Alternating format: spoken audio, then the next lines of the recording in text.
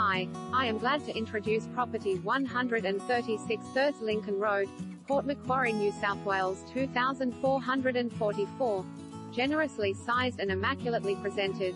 This three-bedroom home is located in the popular Retreat Village featuring a beautiful main bedroom with built-in and glass sliding door to capture the breeze.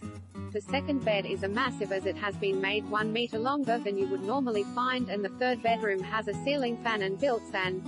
The lounge room is large and open with bay windows which lets in the natural light and also has a reverse cycle air conditioner. The kitchen is of a good size with a gas cooktop.